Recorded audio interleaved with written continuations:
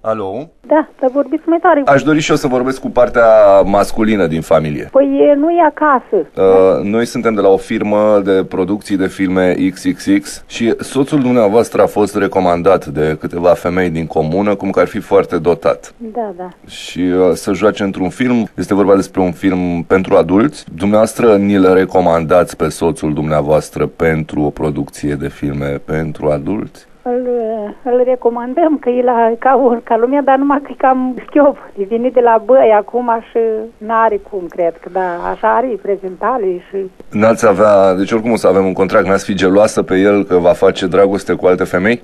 Nu, Puteți să participați și dumneavoastră.